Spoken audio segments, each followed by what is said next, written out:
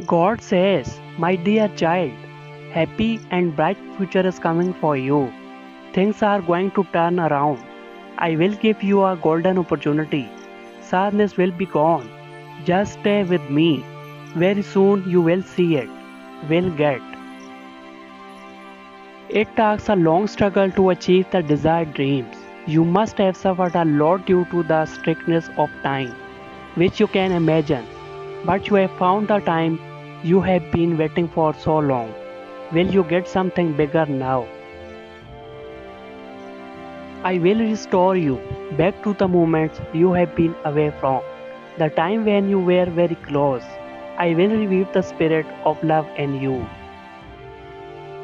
In order to benefit from the better times to come, it is important that you stay connected with God and stick to faith, avoid unnecessary activities, and get rid of negative impressions. Find peace in your hearts in the true love of God, a peace that you will satisfy you that you are true seekers of God. This will make God look upon you and bless you in the routine of life. You will understand what to do next. Mistake will be less and you will not go astray. God says, live your life in a such a way that you have patience in little and control yourself in much. It will bless you and rain blessings on you, and light will come in your eyes, by which you will be good. You will be able to identify the bad. God sees every human being uh, and is aware of his life. When you were not born, God made a contribution to this world for you and your mother's womb.